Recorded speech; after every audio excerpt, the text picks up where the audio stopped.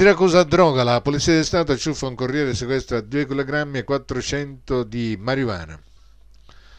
Poliziotto della squadra mobile del commissariato di Aula nel pomeriggio di ieri hanno arrestato Salvatore Piccione, avolese di 55 anni per il reato di trasporto e detenzione di sostanza stupefacente e di materiale utilizzato per il confezionamento.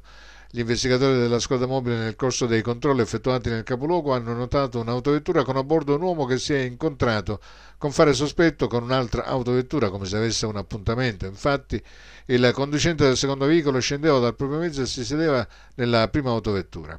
I poliziotti, bloccata l'autovettura sospetta, hanno operato una perquisizione che ha consentito di rinvenire e sequestrare 2 kg e 400 di marijuana. Agenti per il cospicuo quantitativo di sostanza stupefacente idoneo a confezionare oltre 3.000 dosi di droga del valore di mercato della stessa pari a oltre 20.000 euro e dei precedenti dell'uomo lo hanno tratto in arresto e posto ai domiciliari con l'ausilio dei colleghi di Avola in quanto lo stesso ivi residente.